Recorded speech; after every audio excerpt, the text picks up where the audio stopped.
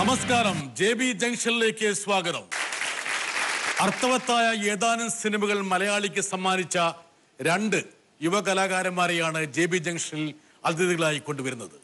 ശ്രുതിയും അതോടൊപ്പം തന്നെ ഷൈൻ ടോം ചാക്കോയും. ഇരുവരെയും നമുക്ക് ജെ ബി ജംഗ്ഷനിലേക്ക് ഹാർദമായി സ്വാഗതം ചെയ്യും.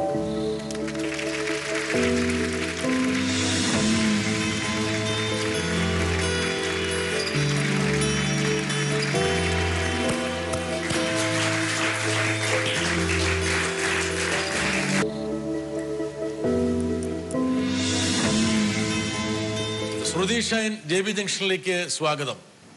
ശ്രുതിനെ കണ്ടിട്ട് കുറെ കാലമായല്ലോ? കുറെ കുറെ കാലല്ലേ ശ്രുതി പണ്ട് കേരളത്തിൽ ആങ്കർ ചെയ്തുകൊണ്ടിരിക്കുമ്പോൾ ശ്രുതിയുടെ അവതരണം കാണാനുള്ള അല്ലെങ്കിൽ അതോ അതുമായി ബന്ധപ്പെട്ട് പ്രവർത്തിക്കാനുള്ള ഒരു ഭാഗ്യം എനിക്കുണ്ട്. അപ്പൊ ശ്രുതിയെ വേറൊരു അവതാരത്തിലാണ് ഞാൻ ഈ കാണുന്നത്. അതെ. അവതാരക ഒരു അവതാരമായി മാറിയിരിക്കുകയാണ്.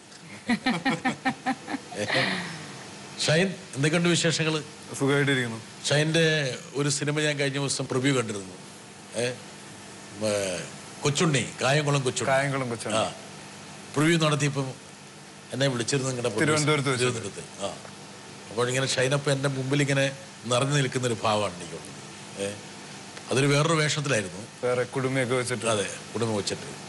നിങ്ങൾ രണ്ടുപേരും ജെ ബി ജംഗ്ഷനിൽ കൊണ്ടുവരുന്നത് പ്രൈമറിലി നിങ്ങളുടെ ഒരു പുതിയ സിനിമ ഒരു സയന്റിഫിക് ഫിക്ഷൻ ഇതൊക്കെ ശരിയാണോ ഷൈന്? ഇത് ടൈം ട്രാവൽ മൂവി എന്നാണ് പറയുന്നത്. ഇത് കേരളത്തിലെ ആദ്യ ചിത്രം തന്നെയാണ്. വേറെ നമ്മുടെ അറിവിലൊന്നും അങ്ങനെ ഒരു ചിത്രം വന്നിട്ടില്ല. ടൈം ട്രാവലിംഗിനെ കുറിച്ച് പറയുന്നത്. ഒരു മാജിക്കൽ റിയലിസമാണ് ശ്രുതി. ആണോ? മാജിക്കൽ റിയലിസം എന്ന് വെച്ചാൽ ഒരു അൺ സബ് കോൺഷ്യസ് സ്റ്റേറ്റ് അല്ലെങ്കിൽ ഒരു ഡ്രീം സ്റ്റേറ്റും ഒരു കോൺഷ്യസ് സ്റ്റേറ്റും അത് ഡിഫറൻഷിയേറ്റ് ചെയ്യാൻ പറ്റാത്ത ഒരു ഒരു അങ്ങനെ ഒരു ലിംബോ എന്നൊക്കെ പറയാം. ഒരു കണക്കിന് ഇപ്പൊ നമ്മൾ ജീവിക്കുന്ന കാലഘട്ടം അതാണ്. റിയാലിറ്റി ആണോ വെർച്വൽ റിയാലിറ്റി ആണോ റിയാലിറ്റി നമുക്കറിയില്ല. വെർച്വലിസം തന്നെ റിയാലിറ്റി ആയി reality. മാറിയിരിക്കുക. അപ്പം ഇന്നത്തെ ഒരു പരിസരത്തെ സാഹചര്യത്തെ പ്രതിഫലിപ്പിക്കുന്ന ഒരു മൂവി എന്ന് വേണമെങ്കിൽ പറയാം. എന്തായാലും മലയാളിക്ക് പുതിയൊരു അനുഭവം പകരാൻ നിങ്ങളുടെ സിനിമ സഹായിക്കട്ടെ എന്ന് ആദ്യം തന്നെ പ്രത്യാശിക്കട്ടെ. ആ ഇത് ഞാൻ ചെയ്തതിൽ വെച്ചപ്പോ ഏറ്റവും പുതിയൊരു ടൈപ്പ് ചിത്രമാണ് ശരിക്കും ഞാൻ എൺപതുകളിലും തൊണ്ണൂറുകളിലും മലയാള സിനിമയാണ് എന്റെ ഏറ്റവും ഇഷ്ടമുള്ള ഇഷ്ടമുള്ളത്. ഇഷ്ടമുള്ള സിനിമകൾ. പാട്ടും ഇടിയും കോമഡിയും റൊമാൻസും ഒക്കെയുള്ള. ഇങ്ങനത്തെ ടൈപ്പ് ചിത്രങ്ങൾ ഞാൻ അധികം കാണാറില്ല. അല്ല നമ്മുടെ നാട്ടിൽ അങ്ങനത്തെ ഇങ്ങനത്തെ ടൈപ്പ് ചിത്രങ്ങൾ ഇറങ്ങാറില്ല. പിന്നെ അല്ല ഞാൻ ന്യൂജനാണ്. നമ്മുടെ ഉള്ളടക്കത്തിൽ ഒരുപാട് മാറ്റങ്ങൾ വന്നുകൊണ്ടിരിക്കുകയാണ്. ശ്രുതിക്കറിയായിരിക്കും ഇപ്പം നെറ്റ്ഫ്ലിക്സും ആമസോണും ഒക്കെ കൊണ്ടുവരുന്ന നമ്മുടെ മുമ്പിലേക്ക് ഇടുന്ന ഒരുപാട് സാധ്യതകളുണ്ട്. കറക്റ്റ് ആണ്. ഇപ്പോ ഡിജിറ്റൽ വേൾഡ് ആണ് എല്ലാം. കാരണം സിനിമയാണെങ്കിൽ ഒരു സിനിമയുടെ ഷോസിന്റെ ഒരു ടൈമിംഗ് ഉണ്ട്. ആ സമയത്ത് ചിലപ്പോൾ നമുക്ക് പോകാൻ കഴിയില്ല. പക്ഷെ ഡിജിറ്റൽ വേൾഡ് ആണെങ്കിൽ നമ്മുടെ സൗകര്യത്തിൽ നമുക്ക് ഇരുന്നിട്ട് നമ്മുടെ റൂമിൽ നമ്മുടെ പജാമാസ് ഒക്കെ ഇട്ടിട്ട് കംഫർട്ടബിൾ ആയിട്ട് ഇരുന്ന് കാണാൻ പറ്റും. ആൻഡ് അത് പോസ് ചെയ്യാൻ പറ്റും പിന്നെയും കാണാൻ പറ്റും. പിന്നെ അങ്ങനത്തെ ആ ടൈം കമ്മിറ്റ്മെന്റ് കൊടുക്കാ കൊടുക്കാൻ പറ്റാത്ത കാരണമാണ് ഐ തിങ്ക് ഡിജിറ്റൽ വേൾഡ് ഇപ്പോ എല്ലാവരും നെറ്റ്ഫ്ലിക്സ് ആൻഡ് ആമസോൺ എനിക്ക് ഷൈന്റെ അടുത്ത് ചോദിക്കാനുള്ളത്. രണ്ടായിരത്തി രണ്ട് തൊട്ട് ഷൈൻ സിനിമയിലുണ്ട്. ഒരുപാട് വാണിജ്യ സിനിമകളുടെയും ജയരാജ് സാറുടെ ഒറ്റാൽ പോലുള്ള ആർട്ട് സിനിമകളുടെയും ഭാഗമായിട്ടുണ്ട്.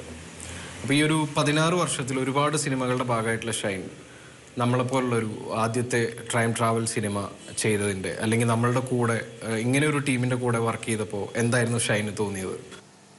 പുതിയൊരു സംവിധായകനാണ്. അജയ് ദേവ്ലോ. അജയ് ദേവ്ലോ. ഇദ്ദേഹം തന്നെ ഉള്ള ആളാണോ പുറത്തുള്ള ആളാണോ?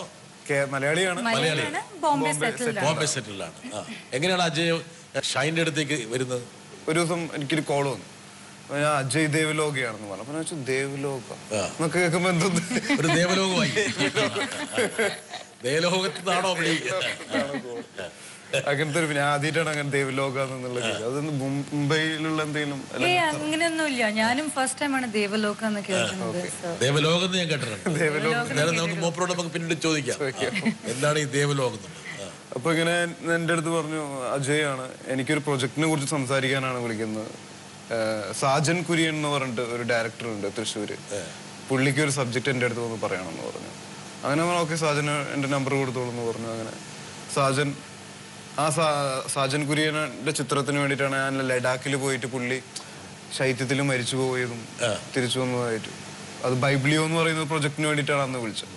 അതിനുശേഷം ഇപ്പൊ ഒരു വർഷത്തിന് മുൻ മുന്നേ രണ്ടായിരത്തി പതിനാറിൽ അജയ് പിന്നെയും വിളിച്ചു എന്റെ അടുത്ത് പറഞ്ഞു.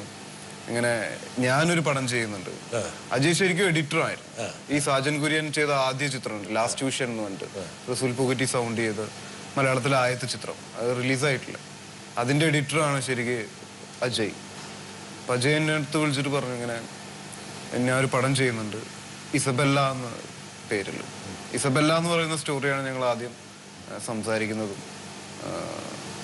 പിന്നെ അത് കുറച്ച് കാരണങ്ങൾ കൊണ്ട് അത് കുറച്ചിങ്ങനെ ലാഗ് മാറി മാറിപ്പോയി. മാറി മാറിപ്പോയി പുതിയ ഡയറക്ടർ പിന്നെ ഞങ്ങളെ ഞങ്ങളെപ്പോലുള്ള ആക്ടേഴ്സ് എന്നൊക്കെ പറയുമ്പോൾ അതിന്റെ ബഡ്ജറ്റ് കുറച്ച് ഹെവിയാണ് ഇസബെല്ല എന്ന് പറയുന്ന ചിത്രം. അപ്പൊ അത് അങ്ങോട്ട് മുന്നോട്ട് പോകാൻ പറ്റുന്നില്ല. അപ്പോൾ അപ്പോൾ അജയ് പറഞ്ഞു നമുക്ക് ഇതിന്റെ തന്നെ ഒരു വേറെ പ്ലോട്ട് ചെയ്യാം. അതായത് നമ്മൾക്ക് എല്ലാവർക്കും കൂടി നിന്ന് ചെയ്യാൻ പറ്റാവുന്ന ഒരു ചിത്രം. അങ്ങനെയാണ് ഹൂ എന്ന് പറയുന്ന ചിത്രം ഉണ്ടാവുന്നത്. ശരിക്കും ഇസബെല്ല എന്ന് പറയുന്ന കഥാപരമായിട്ട് ഇസബെല്ല കഴിഞ്ഞിട്ട് വരുന്ന സ്റ്റോറിയാണ് ഹൂ. യഥാർത്ഥത്തിൽ ആദ്യം വരേണ്ട ഇസബല്ലയാണ്. ആദ്യം വരേണ്ട ഇസബല്ല. ഇനി വേണമെങ്കിൽ നിങ്ങൾ ഈ സിനിമ വലിയ സക്സസ് ആയി കഴിഞ്ഞാൽ ഇസബല്ലയെ വേണേ നമുക്ക് അവതരിപ്പിക്കാൻ പറ്റും. അടുത്തത് ചെയ്യാൻ പോകണം അനൗൺസ് ചെയ്തു ഓൾറെഡി സീരീസ് ആണ്. ഇത് സീരീസ് ആണ്. ആക്ച്വലി ഇത് ട്രിലജിയാണ് ആദ്യം ഹൂ പിന്നെ ഇപ്പൊ ഹൂ റിലീസ് ആവുന്നതിന്റെ ശേഷം ഇസബെല്ല ഷൂട്ട് തുടങ്ങും. അതിന്റെ ശേഷം ഗലീലിയോ എന്ന് പറഞ്ഞ അതിന്റെ മൂന്നാം ഭാഗം. മൂന്നാം ഭാഗം. അങ്ങനെയാണ്. വരട്ടെ വരാം. നമ്മുടെ സിനിമയിൽ ഒരുപാട് ഇന്റർനാഷണൽ കൊളാബറേഷൻസ് ഉണ്ടായിട്ടുണ്ട്. അത് ശ്രുതിക്ക് നന്നായിട്ട് അറിയാം. അപ്പൊ ഇങ്ങനെ ഒരു ക്രൂവിന്റെ കൂടെ ഉണ്ടായിരുന്ന ഒരു എക്സ്പീരിയൻസ് എന്തായിരുന്നു ശ്രുതിക്ക്? എന്താണ് ഏറ്റവും കൂടുതൽ ചാലഞ്ചിങ് ആയിട്ട് തോന്നിയത്? അല്ലെങ്കിൽ ഇങ്ങനെ ഒരു ക്രൂവിന്റെ കൂടെ ഇതിന്റെ ന്യൂനതകൾ എന്തെങ്കിലും തോന്നിയിട്ടുണ്ടോ? അല്ലെങ്കിൽ ഇതിന്റെ ഒരു പ്ലസ് ആയിട്ടാണോ തോന്നിയത്? ഈ ഒരു ഈ ഒരു വലിയ ഈ ഒരു ചെറിയ ടീമിന്റെ കൂടെ വർക്ക് ചെയ്യുമ്പോൾ എന്തായിരുന്നു ശ്രുതിയുടെ ഒരു എക്സ്പീരിയൻസ് എന്ന് അറിയാൻ ആഗ്രഹമുണ്ട്? ഇതൊരു എന്റയർലി പുതിയൊരു ടീമാണ് അല്ലേ എന്റയർലി പുതിയ ടീമാണ് നല്ല ടെക്നിക്കലി സൗണ്ട് നല്ല സ്ട്രോങ് ടീമാണ് ഇതിലെ സൗണ്ട് ഡിസൈനർ ആണെങ്കിൽ ഫീമെയിൽ ആണ്. വിശാഖ ദേവലോക സ്റ്റീവൻ സ്പീൽബർഗിന്റെ പടത്തിൽ സൗണ്ട് ഡിസൈൻ ചെയ്തിട്ടുണ്ട്. ഹൺഡ്രഡ് ഹൺഡ്രഡ് ഫുട്ട് ജേർണി ആ പടം. പിന്നെ മില്യൺ ഡോളർ ആം എന്ന പടം. അതിലൊക്കെ സൗണ്ട് ഡിസൈൻ ചെയ്തിട്ടുണ്ട്. പിന്നെ ഹാൻസ് സിമ്മർ എല്ലാവരും അറിയുന്ന ഹാൻസ് സിമ്മറിന്റെ ഫേവറേറ്റ് വോക്കലിസ്റ്റ് ഉയാങ്ക ബോൾഡ് പടത്തിൽ പാടിയിട്ടുണ്ട്. പിന്നെ ഇതിന്റെ ഈ ട്രെയിലറിന്റെ ട്രാക്ക് ബാക്ക്ഗ്രൗണ്ട് സ്കോർ ആണ് സെർബിയയിൽ നിന്ന് ഡെജൻ എന്ന് പറഞ്ഞൊരു മ്യൂസിക് ഡയറക്ടറാണ് പിന്നെ നെറ്റ്ഫ്ലിക്സിലുള്ള ഡാർക്ക് എന്ന വെബ് സീരീസിന്റെ ടഹോ എന്ന് പറഞ്ഞൊരു മ്യൂസിക് ഡയറക്ടറിൽ മ്യൂസിക് തന്നിട്ടുണ്ട്. പക്ഷേ so it's all like a very എന്താ പറയാ ഇന്റർനാഷണൽ ഒരു കൺവെൻഷണൽ സിനിമ ലൊക്കേഷൻ ആയിരുന്നില്ല. അല്ല ഒരിക്കലും അല്ല. പുതിയൊരു പുതിയൊരു ലൊക്കേഷൻ പുതിയൊരു ഫീൽ ഈ തരത്തിലൊരു പ്രോഡക്റ്റ് ഉണ്ടാക്കുന്ന സമയത്ത് ആ ആ, അജയന് ഒരു വിഷൻ ഉണ്ടായിരുന്നു. ഒരു ഇന്റർനാഷണൽ ലെവലിലെ ക്വാളിറ്റി ആ ക്വാളിറ്റിയിൽ ഒരിക്കലും ഒട്ടും കോംപ്രമൈസ് ചെയ്തിട്ടില്ല. അതിനെ പറ്റിയ കോമ്പീറ്റന്റ് ആയിട്ടുള്ള ആൾക്കാരെയാണ് കൊണ്ടുവന്നിരിക്കുന്നത്. അതെ അതെ. അതിന്റെ ആവശ്യം ഉണ്ടായിരുന്നു. അപ്പം ശ്രുതി എന്നുള്ള നടിക്ക് ഒരു പുതിയൊരു അനുഭവമായിരുന്നു. കംപ്ലീറ്റ്ലി ഡിഫറെന്റ് എനിക്ക് അവരെ കാണാൻ പറ്റിയില്ല. പക്ഷെ അവരുടെ വർക്ക് കണ്ടിട്ടും കേട്ടിട്ടും നമുക്കൊരു എൻകറേജ്മെന്റ് അല്ലേ? എത്രയോ വലിയ വലിയ ആർട്ടിസ്റ്റ് അജയ് ഒരു പുതിയ സംവിധായകനാണ്. സ്വാഭാവികമായിട്ട് ഒരു പുതിയ സംവിധായകന്റെ പ്രോജക്റ്റ് എടുക്കുമ്പോൾ ഷൈൻ രണ്ടാമതൊന്നും ആലോചിക്കേണ്ട വന്നോ? അതെയോ? അതൊക്കെയാണ് അദ്ദേഹം അറിയാൻ ആഗ്രഹിക്കുന്നത്. ഇല്ലില്ല രണ്ടാമതൊന്നും ആലോചിക്കേണ്ടി വന്നില്ല. കാരണം അജയ് എന്ന് പറയുന്ന കഥ ഇങ്ങനത്തെ കഥയാണ്. ഈ കഥ വേറെ എവിടെയും നമ്മൾ കേട്ടിട്ടില്ല. ഇതിനോട് ഏകദേശം മാച്ചുള്ള കഥ കഥകളാണ് സാജൻ കുര്യന്റെ ചിത്രങ്ങൾ. സാധാരണ നോർമലി നമ്മൾ കേൾക്കുന്ന കഥകളിൽ നിന്ന് ഭയങ്കര ഡിഫറെന്റ് ആയിട്ടുള്ളത്. കേൾക്കുമ്പോൾ തന്നെ ഇതെങ്ങനെ തിയേറ്ററിൽ വന്നു കഴിഞ്ഞാൽ എങ്ങനെ ഇരിക്കും? എങ്ങനെ ആൾക്കാർ സ്വീകരിക്കും? സ്വീകരിക്കും. അല്ല നമ്മൾക്ക് തന്നെ കാണാൻ ഒരു ആകാംക്ഷയാണ്. ഇതെങ്ങനെ തിയേറ്ററിൽ വരും? അല്ലെങ്കിൽ ഇതെങ്ങനെയായിരിക്കും കാണാൻ? അപ്പൊ ആ ആഗ്രഹത്തിന്റെ പുറത്ത് ചെയ്യുന്നതാണ്. ശ്രുതിയുടെ ക്യാരക്ടറിന്റെ പേരെന്താണ്? അരുണിമ ആവർത്തൻ. അരുണിമ. അജയന്റെ മനസ്സിലെ ആദ്യത്തെ അരുണിമ ശ്രുതി തന്നെയായിരുന്നു? എന്നാണ് എന്റെയും വിശ്വാസം. വിശ്വാസം. അല്ല ആയിരുന്നു. ആയിരുന്നു. അജയ് പറഞ്ഞു ഞാൻ ആ ചോദ്യം ചോദിക്കുന്നത് ഷൈൻ അറിയാം. അതുകൊണ്ട് ഷൈൻ പ്രിപ്പയർ ചെയ്തതാണ്. പ്രിപ്പയർ ചെയ്തോ? ആ സ്വാഭാവികമായിട്ടും ആദ്യം എന്റെ മുഖമായിരിക്കില്ല വന്നിട്ടുണ്ടായിരിക്കുക. ആ. അത് അതൊക്കെ ഒരു നടന് സ്വാഭാവികമായിട്ട് സംഭവിക്കുന്ന കാര്യങ്ങളാണ്. അതെ. ഒരുപാട് മുഖങ്ങളിലൂടെയാണല്ലോ നമ്മുടെ മുഖത്തേക്ക് എത്തുന്നത്. മുഖത്തിലേക്ക് എത്തുന്നത്. ചിലരുടെ അസൗകര്യമായിരിക്കും ഒരു നടനെ ഉണ്ടാക്കുന്നത് തന്നെ? മലയാളത്തിലെ സൂപ്പർ ഹിറ്റ് പടങ്ങൾ പലപ്പോഴും ഒന്നിലും ആരെങ്കിലും തിരസ്കരിക്കുകയോ അതല്ലെങ്കിൽ ഒരാളെ മാറ്റുകയോ ഒരാളെ ഡേറ്റ് കിട്ടാതിരിക്കുകയോ ഒക്കെ ചെയ്ത പടങ്ങളാണ്. അവർക്ക് കൺവിൻസ്ഡ് ആവാതിരിക്കുകയോ ചെയ്യുമ്പോൾ ഉണ്ടാവുമ്പോഴാണ് അടുത്ത ആക്ടറിന്റെ അടുത്തേക്ക് വരുന്നത്. അപ്പൊ ആദ്യമേ ഒരു കഥ ആലോചിക്കുമ്പോ എന്റെ ഫേസ് ആണ് വന്നിട്ടുള്ളതെന്ന് എനിക്ക് ചോദിച്ചില്ല അജയനോട്. ഞാൻ അജയുടെ അടുത്ത് ചോദിച്ചില്ല. പക്ഷെ അജയ് വിദഗ്ധമായി ഒഴിഞ്ഞു മാറി ഇല്ല ഞാൻ ചോദിച്ചിട്ടില്ല അജയുടെ അടുത്ത്. ചോദിച്ചിട്ടില്ല. അതിനൊരു പ്രസക്തി ഇല്ലാത്തതുകൊണ്ടാണോ അതിന്റെ ഒരു പ്രസക്തി ഇല്ല. അല്ല അതിന് ചിലപ്പോൾ ഒരു പ്രസക്തി വരുന്നതെന്ന് വെച്ചാൽ ഞാൻ പറയാം. അതായത് നമ്മൾക്ക് പകരം വേറെ ആരെയാണ് ആലോചിച്ചതെന്ന് നോക്കുമ്പോൾ ആ അയാളുടെ ഒരു കേപ്പബിലിറ്റീസും അയാളുടെ ഒരു ട്രേറ്റും വേണമെങ്കിൽ നമ്മളിൽ നിന്ന് സംവിധാനം പ്രതീക്ഷിക്കുന്നുണ്ടാകുമെന്ന് വേണമെങ്കിൽ ആൾക്കാർ ഊഹിക്കാം. അങ്ങനെ പറയുന്ന ആൾക്കാരുണ്ട് അതുകൊണ്ട് പറഞ്ഞ കേട്ടോ. അല്ല ചിലപ്പോ നമ്മൾ അങ്ങനെ ഒരാളാണ് ഉദ്ദേശിക്കുന്നത് നമ്മൾ അയാളുടെ പോലെ ചിലപ്പോ ചിലപ്പോ ഇമിറ്റേറ്റ് ചെയ്യാൻ ചിലപ്പോ ശ്രമിക്കായിരിക്കാം. ആ അവരോട് ഇങ്ങനെ അറിയാതിരിക്കുന്നതാണ് അറിയാതിരിക്കുന്നതാണ് അറിയാതിരിക്കുന്നത് വരട്ടെ. Hi Shine hi Shruthi hi J B sir. അപ്പൊ ഇന്ന് ഷൈനെയും ജെ ബി സർ സുഖമല്ലേ? First of all J B sir കുറെ നാളെ നമ്മൾ കണ്ടിട്ട്. അപ്പൊ I hope you doing well പിന്നെ എനിക്ക് പറയാനുള്ള ഷൈനി ശ്രുതിനെ ഞാൻ ഇപ്പൊ കണ്ടുകൊണ്ടിരിക്കുകയാണ് എപ്പോഴും ബിക്കോസ് ഹൂവിന്റെ പ്രൊമോഷൻസ് ഒക്കെ നടക്കുമ്പോൾ ഞങ്ങൾ സ്ഥിരം ഒരുമിച്ചാണ്. അപ്പം എനിക്ക് ഷൈന്റെ അടുത്ത് ഫസ്റ്റ് ചോദിക്കാനുള്ള ഒരു കാര്യം. ഷൈൻ ഇതിലത്തെ ക്യാരക്ടർ എന്ന് പറയുന്നത് ഭയങ്കര നിഗൂഢതകളുള്ള ഒരു ക്യാരക്ടറാണ് സോ എങ്ങനെ ഉണ്ടായിരുന്നു ഈ ഒരു ജോൺ ലൂക്ക എന്ന ക്യാരക്ടർ അജയ് ഫസ്റ്റ് നറേറ്റ് ചെയ്തപ്പം എന്തൊക്കെയാണ് പ്രിപ്പറേഷൻസ് ചെയ്തത് ജോൺ ലൂക്കയ്ക്ക് വേണ്ടി? പിന്നെ എങ്ങനെ ഉണ്ടായിരുന്നു അജയുടെ കൂടെയുള്ള ഈ ഒരു വർക്ക് എക്സ്പീരിയൻസ് പിന്നെ എനിക്ക് ശ്രുതിയുടെ അടുത്ത് ചോദിക്കാനുള്ളത് ദർ ഇസ് വൺ സീൻ നമ്മൾ രാത്രി പന്ത്രണ്ട് മണി തൊട്ട് രാവിലെ ഏഴ് മണി ഏഴര വരെ നമ്മളൊരു ഷൂട്ട് പോയി ഓർമ്മയുണ്ടോ? ആ സീനിനെ കുറിച്ച് എന്തായിരുന്നു ഫീൽ ബിക്കോസ് ആ ഒരു ഒരു സീനാണ് നമ്മൾ പിന്നെയും പിന്നെയും ഷൂട്ട് ചെയ്തുകൊണ്ടിരുന്നത്. ഇറ്റ്സ് എ ലോങ് ഒരു ഡയലോഗ് ആയിരുന്നു ശ്രുതിയുടെ. It was a funny experience പിന്നെ നോക്കുമ്പോൾ ആ സമയത്ത് നമ്മൾ ഭയങ്കര ടയർഡായെങ്കിലും സോ ശ്രുതിയുടെ അടുത്ത് എനിക്ക് ഈ ഒരു എക്സ്പീരിയൻസിനെ കുറിച്ചാണ് ചോദിക്കേണ്ടത്. പിന്നെ ഷൈന്റെ അടുത്ത് അതും. അപ്പോൾ bye guys thank you so much love you ഈ പേളി തിരിച്ച് ഇവിടെ ഭൂമിയിൽ ഇറങ്ങിയ. ഏ? തിരിച്ചറിയും അപ്പൊ നിങ്ങളൊരു ബിഗ് ബോസിൽ പെട്ട പോലെ ആയിരുന്നോ പുള്ളിയുടെ കൂടെ? എപ്പോഴും പറയും ഹൺഡ്രഡ് ഡേയ്സ് ഹൺഡ്രഡ് ഡേയ്സ് കഴിഞ്ഞിട്ടാണ് ഞാനിപ്പോ പുറത്ത് ഇറങ്ങിയിരിക്കുന്നത്. ഒരു പോയി ആർക്ക്? കൂടെ ഉള്ളവർക്കാണോ? പുള്ളിക്കാണോ? അതാണ് ചോദ്യം. ശ്രുതി അപ്പോൾ ഒരു രാത്രി മുഴുവൻ നിങ്ങൾ ഒരു ഒരു ഡയലോഗിന് മുകളിൽ കെട്ടി പറഞ്ഞ ഒരു ഡയലോഗ് എന്നല്ല അതൊരു നാല് നാലര മിനിറ്റിന്റെ മോണോലോഗ് ആയിരുന്നു. ആ. അപ്പൊ അതിൽ ആ ഒരു ആ സീൻ വരുന്നൊരു ജംഗ്ഷൻ ആ പടത്തിൽ വരുന്നൊരു സമയം ഭയങ്കരമായിട്ട് എക്സ്പ്ലെയിൻ ഇപ്പോൾ ഈ ഡ്രീം ഇന്റർപ്രിട്ടേഷനൊക്കെ കുറിച്ച് നല്ല എക്സ്പ്ലനേഷൻസ് ഉണ്ട്. അപ്പോൾ ടെക്നിക്കലായ ചില വാക്കുകൾ അത് മലയാളത്തിൽ. ഞാനൊക്കെ കേൾക്കാത്ത ഏതാണ് ഏറ്റവും വിഷമം പിടിച്ച വാക്കായിരുന്നു? അയ്യോ എനിക്ക് ശരിക്കും ഓർമ്മയില്ല. ആ സീൻ അവിടെ എൻഡ് ചെയ്തു. അതോടെ ഞാൻ അതിനെ ഇല്ല. ഷൈനുണ്ടായിരുന്നു ശ്രുതി മേനോൻ ആദ്യമായിട്ട് മലയാളം പഠിച്ചു. പഠിച്ചു എന്നല്ല പഠിച്ചു കരഞ്ഞു എല്ലാം അല്ല. പക്ഷെ ഇറ്റ് വാസ് ആ ഒരു ലെങ്തി ആയ കാരണം ആൻഡ് അത് ശരിക്ക് അതിന്റെ സിങ്ക് സൗണ്ട് ആണ്. അപ്പൊ ഒരു മിസ്റ്റേക്ക് വന്നു ഡയലോഗ് പക്ഷെ നന്നായി ബൈഹാട്ടാക്കിയിട്ടുണ്ടാവുമല്ലോ ഇപ്പൊ. ബൈ ഹാർട്ട് അതിപ്പോ ഒരു കൊല്ലായി ഷൂട്ട് ചെയ്തിട്ട്. സോ അപ്പൊ എനിക്ക് ഓർമ്മയില്ല. കാരണം നമ്മുടെ മെമ്മറിയിൽ ഒരിക്കലും നിൽക്കാത്ത ടൈപ്പ് ടേംസ് ആണ്. വാക്കുകളാണ്. വാക്കുകളാണ്. സാധാരണ നമ്മൾ സംസാരിക്കുന്നതല്ല ഡയലോഗ്സ് അതെ. സി അരുണിമ അവർത്തൻ ഒരു ക്രിമിനൽ സൈക്കാട്രിസ്റ്റ് ആണ്. അപ്പോ പേളിക്ക് ഇങ്ങനെ ഓരോരുത്തർ ഓരോരോ ഡ്രീം എക്സ്പ്ലനേഷൻ കൊടുക്കുന്ന സമയത്ത് അതിന്റെ എന്താണ് കണക്ഷൻ മൈൻഡിൽ നമ്മുടെ ബ്രെയിനിൽ വെച്ചിട്ട് എന്താണ് കണക്ഷൻ കെമിക്കൽ റിയാക്ഷൻസ് അങ്ങനത്തെ എക്സ്പ്ലനേഷൻസ് ആണ്. അപ്പോൾ സയന്റിഫിക് ആയ എക്സ്പ്ലനേഷൻ ആയിരുന്നു. അതിന്റെ ആ വാക്കുകൾ ഞാൻ ഓർക്കാനും എനിക്ക് I do want to remember I that. Do want to remember Shaina ഇപ്പൊ എന്താണ്? ജോൺ ലൂക്ക. John Luke. ആ ജോൺ ലൂക്ക അല്ലേ? അതാണ് കഥാപാത്രം. എന്താണ് ആ കഥാപാത്രം? എന്താണ്? ആരാണ്? ഇത് എനിക്ക് പണി തരാൻ വേണ്ടി ചോദിച്ചതാണ്. ആരാണ് ആക്ച്വലി ജോൺ ലൂക്കാനെ പറ്റി ഞാൻ അജയിനോട് പറയും അജയ് ഞാൻ എന്താണ് ഈ കഥനെ കുറിച്ച് പുറത്ത് സംസാരിക്കേണ്ടത്? അപ്പൊ അജയ് പറയും ഇത് ഇങ്ങനെ ഒരു സ്വപ്നങ്ങളെ കുറിച്ചിട്ടുള്ള ഒരു ചിത്രമാണ് ശരിക്കും. അതായത് നമ്മളെല്ലാവരും സ്വപ്നങ്ങൾ കാണുന്നുണ്ട്. ഇത് ഭയങ്കര സ്ട്രേഞ്ച് ആയിട്ടുള്ള ഒരു സ്റ്റോറി ആയിട്ട് നമുക്ക് എല്ലാവർക്കും തോന്നാം. ചിലപ്പോൾ കഥ കേൾക്കുമ്പോൾ പക്ഷെ നമ്മളെല്ലാവരും ഓരോ നിമിഷവും കടന്നുപോയിക്കൊണ്ടിരിക്കുന്ന സിറ്റുവേഷൻസ് ആണ്. ഈ ആരാണ് ഞാൻ എന്നുള്ള ചോദ്യം. അത് ഷൈഡ് ഒരുപാട് പ്രാവശ്യം ചോദിച്ചിട്ടുണ്ടാവും. ഞാൻ ഒരുപാട് പ്രാവശ്യം ചോദിച്ചിട്ടുണ്ട്. ഞാൻ എന്റെ പേരെന്നെ ഇങ്ങനെ പറഞ്ഞു ഇങ്ങനെ ചോദിക്കും. ഷൈൻ. ആരാ ഷൈൻ? ടോം ചാക്കോ. ടോം ചാക്കോ പറയില്ലേ? ഷൈൻ. ഷൈൻ. ഷൈൻ. എന്തിനാണ് നമ്മൾ ഇങ്ങോട്ട് വന്നിട്ടുള്ളത്? എന്തൊക്കെയാണ് ഈ സംഭവിക്കുന്നത്? അവതാര ലക്ഷ്യം എന്താണ്? അവതാര ലക്ഷ്യം എന്താണ് അല്ല അത് ഇതൊക്കെ എന്തുകൊണ്ടാണ് സംഭവിക്കുന്നത്? പിന്നെ അതേപോലെ തന്നെ എന്തുകൊണ്ടാണ് നമ്മൾക്ക് സ്വപ്നങ്ങൾ ഉണ്ടാവുന്നത്? ഇത് ഇത് ഇതൊക്കെ ഷൈനിടയ്ക്ക് ചിന്തിക്കുന്ന കാര്യങ്ങളാണ്. നമ്മളെല്ലാവരും ചിന്തിക്കുന്ന കാര്യങ്ങളാണ്. നമുക്ക് ഇപ്പോ ഒരു സ്വപ്നം കണ്ടു കഴിഞ്ഞാൽ നമുക്ക് എന്തുകൊണ്ട് ആ. സ്വപ്നം എന്റെ ജീവിതത്തിൽ വളരെ വിയേഡ് ആയിട്ടുള്ള ചില സ്വപ്നങ്ങൾക്ക് വന്നു. വീട് ആയ സ്വപ്നങ്ങളാണെങ്കിൽ എന്ത് സ്വപ്നമാണോ? ഇത് നമ്മുടെ ജീവിതത്തിൽ ഇനി നടക്കാൻ പോകുന്നതാണോ? അതോ കഴിഞ്ഞ എന്തിനെങ്കിലും ഓർമ്മപ്പെടുത്തുന്നതാണോ? ഇതിലിപ്പോ നേരത്തെ ട്രെയിലറിൽ കാണിച്ചതുപോലെ തന്നെ രാജാവിന് ഒരു സ്വപ്നമുണ്ടായി. അതിന്റെ അർത്ഥം അറിയാൻ പുള്ളിക്ക് ആഗ്രഹമുണ്ടായി. പുള്ളി ദുർമന്ത്രവാദികളെയും ആഭിചാരകരെയും കൽദായരെയും വിളിച്ചു. അവരെല്ലാവരും പുള്ളിയുടെ രാജ്യസന്നിധിയിലെത്തി. രാജാവ് തന്റെ സ്വപ്നത്തെ പറ്റി പറഞ്ഞു ഇതിന്റെ അർത്ഥം അറിയാൻ എനിക്ക് ആഗ്രഹമുണ്ട്. അത് ബൈബിളിലുള്ള ഒരു കോട്ടാണ് അപ്പൊ അതേപോലെ തന്നെ നമ്മളിൽ എല്ലാവരിലും സ്വപ്നം കാണുമ്പോൾ എന്താ എന്തുകൊണ്ട് ഈ സ്വപ്നം ഉണ്ടായി എന്താണ് ഇതിന്റെ അർത്ഥം? ഇതിനെന്തെങ്കിലും ഇതിനെ വ്യാഖ്യാനിക്കാൻ പറ്റും.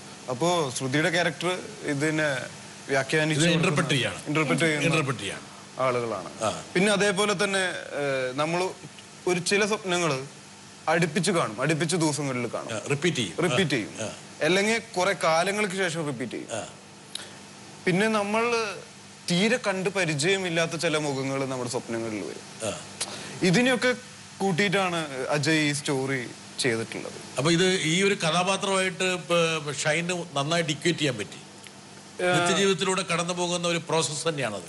അതെ. പക്ഷെ നമ്മൾ ഒരിക്കലും അത് ചർച്ച ചെയ്യാൻ ആഗ്രഹിക്കുന്നുമില്ല. ചർച്ച ചെയ്യും. നമ്മളിപ്പോ രണ്ടുപേരും ഇരിക്കുമ്പോ ഈ കാര്യം ഒരിക്കലും ചർച്ച ചെയ്യില്ലല്ലോ. ചർച്ച ചെയ്യുന്നില്ല. ഇപ്പൊ അമ്മയുടെ അടുത്തും അച്ഛന്റെ അടുത്തും പോലും നമ്മൾ സംസാരിക്കില്ലല്ലോ. ഈ സ്വപ്നത്തിനെ കുറിച്ചോ എന്തിനെ ഒരു കണക്കിന് പിന്നെ ഷൈന്റെ മനസ്സിൽ കഴിഞ്ഞ എത്രയോ കാലങ്ങളായി വന്നുകൊണ്ടിരിക്കുന്ന വന്ന് മിന്നി തെളിഞ്ഞു പോയിക്കൊണ്ടിരിക്കുന്ന സ്വപ്നങ്ങളെ ഒരുപക്ഷെ ഒരു ഒരു കഥാപാത്രമായിട്ട് അതിലൂടെ കടന്നു പോകാനുള്ള ഒരു അവസരം കിട്ടി. അപ്പൊ ഈ പേളിയുടെ സ്വപ്നങ്ങളാണോ ശ്രുതി ഏറ്റവും കൂടുതൽ പുറത്തേക്ക് കൊണ്ടുവന്നുകൊണ്ടിരിക്കുന്നത്? അത് ആക്ച്വലി യഥാർത്ഥ സ്വപ്നങ്ങളാണെങ്കിൽ അപ്പൊ ശ്രുതി ബോധം കെട്ടിവിടേനെ എനിക്കിതെല്ലാം തമാശയായ കൊണ്ടാണ് പറഞ്ഞത്.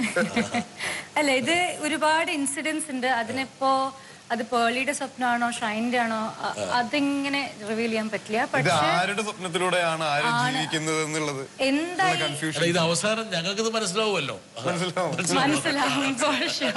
മനസ്സിലാവും. പക്ഷെ അതൊരു കൊറേ ഇൻസിഡൻസും അതിന്റെ ക്ലാരിറ്റിയും സ്വപ്നങ്ങളും അതിന്റെ ക്ലാരിഫിക്കേഷനും ഒക്കെ ആയിട്ടാണ്. വലിയൊരു പരീക്ഷണ പടം തന്നെയാണ് ഒരു ഒരു- ഒരു പരീക്ഷണം നീഷ് ഓഡിയൻസിനാണോ നിങ്ങൾ ടാർഗറ്റ് എന്തായാലും എല്ലാ വിഭാഗം ആൾക്കാരെയും ഇതിനകത്ത് കൊണ്ട് പുറത്തിറക്കാൻ പറ്റില്ല. ഇല്ല.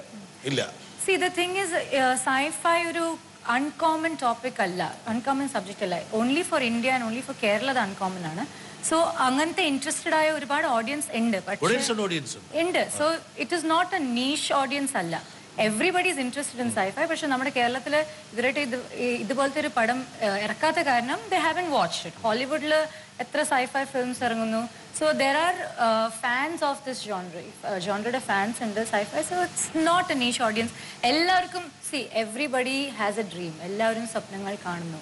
അപ്പോൾ അത് കാരണം എല്ലാവരും ഇതിനോട് ഒരു ചെറിയൊരു റിലേഷൻ പറ്റും.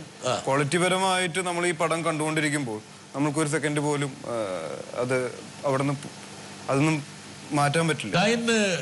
സിനിമയിലെ കരിയറിൽ ഒരു നല്ലൊരു ബ്രേക്ക് കൊടുത്തൊരു സിനിമയാണ് ഏ, ഇത് കണ്ടപ്പം ഷൈനിന്റെ അത്ഭുതം. ഞാൻ തന്നെയാണോ പെട്ടെന്നാൾ മാറിയോ ഇത് എത്ര വർഷമായി ഇത് റിലീസായിട്ട്? ഇത് രണ്ടായിരത്തി പതിനാല് ഒക്ടോബർ പത്ത്. ആ എത്ര ഡേറ്റ് പോലും കൃത്യമായിട്ടിരിക്കുന്നത് ഇപ്പൊ കഴിഞ്ഞുള്ള വർഷം. ഈ ഒക്ടോബർ പത്തിന്. വളരെ കൃത്യമായിട്ട് ഷൈനത് ഓർത്തിരിക്കുന്നു. ആ- ആ സിനിമ ഒരുപക്ഷെ ഷൈൻ എന്നുള്ള നടന് വളരെ അനിവാര്യമായിട്ടുള്ളൊരു സിനിമയായിരുന്നു. ആദ്യമായിട്ട് ലീഡ് ചെയ്യുന്ന പടം അതിന്റെ ഫസ്റ്റ് ഷോ നടക്കുമ്പോൾ എല്ലാവരും കൂടി ഒരുമിച്ച് പടം കാണാൻ കേറാം എന്നുള്ള പ്ലാനിലായിരുന്നു പത്മയിൽ ചെന്ന്. പക്ഷെ എല്ലാവരും കയറ്റിയിട്ട് ഞാൻ കേറിയിരുന്നില്ല. ടെൻഷൻ. ടെൻഷനായിട്ട് ഞാൻ പുറത്തിരുന്നു. കാരണം ഈ മോതിരം കിട്ടിയിട്ട് ബോഡി അങ്ങോട്ടും ഇങ്ങോട്ടും സ്വിച്ച് ചെയ്യുന്ന പോർഷനായിരുന്നു എനിക്ക് കൺഫ്യൂഷൻ. ഇത് ആൾക്കാർ വിശ്വസിക്കോ ഇല്ലയോ എന്നുള്ളത്. കാരണം ഷൂട്ട് ചെയ്യുന്ന സമയത്ത് നമ്മൾ അങ്ങനെ ബോഡി മാറുന്നില്ല. ഷൂട്ടിങ്ങിൽ നമ്മൾ തന്നെയല്ല അഭിനയിക്കുന്നത് അപ്പൊ തിയേറ്ററിൽ അത് എങ്ങനെയായിരിക്കും ആൾക്കാർ അപ്പൊ എടുക്കുന്നതെന്ന് ഞാൻ പുറത്തിരുന്നിട്ട് ഇങ്ങനെ സൗണ്ട് നോക്കിയിരിക്കുകയാണ് ഈ മോതിരം ഇടുന്ന സീക്വൻസ് നമുക്ക് മനസ്സിലാവും. പുറത്തു നിന്നുകൊണ്ട് ഇങ്ങനെ ചെവി നമ്മളിങ്ങനെ ചെവി വേറെ ആരും ചോദിച്ചില്ല ഇയാൾക്ക് എന്തെങ്കിലും കുഴപ്പമുണ്ടോ ഇല്ല. ചെവി അങ്ങനെ കൊണ്ടുപോയി വെച്ചിട്ടൊന്നുമില്ല. പക്ഷെ എങ്കിലും. അവിടെ ചേറിലിരുന്ന കേക്കാം അകത്ത് കൂവലാണോ അല്ലെ കയ്യടിയാണോ എന്നുള്ളത്. അപ്പോ ആ രൂപം മാറി അനുശ്രീയുടെ ബോഡിയായി എന്റെ ബോഡി അപ്പോ സ്- സ്- നമ്മുടെ എന്റെ സീക്വൻസ് ആണ് ആദ്യം വരുന്നത്.